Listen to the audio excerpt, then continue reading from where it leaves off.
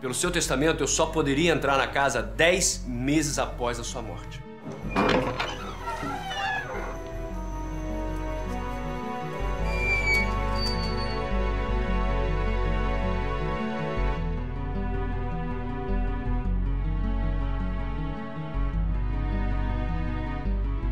Nada de interessante nos quartos.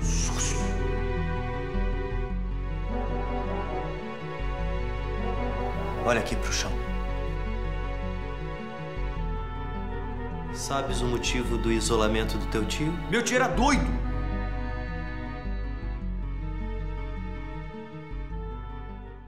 Tia Mônica, a senhora é capaz de guardar um segredo? Sou. Tio, eu estou perdidamente apaixonada por um homem. Ele está ao mesmo tempo tão perto e tão distante.